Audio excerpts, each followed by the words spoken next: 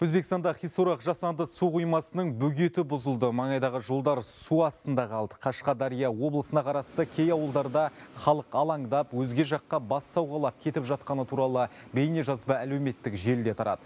Бұл ақпаратты елдің төтенше жағдайлар министрлігі де растады. Ресми мәліметке қарағанда су құймасының іргесіне таяу жерде жүріп жатқан құрылыс жұмыстарынан бөгетте сызат пайда болып, су сыртқа қарай лап қойған. Апаттың салдарын жою мақсатында жауапты өкілдерден тұратын жедел штаб құрылды.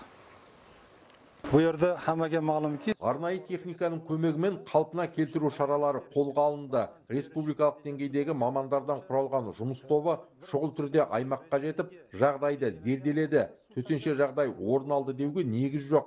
Қазір қоймадағы судың мөлшері қалыпты деңгейде.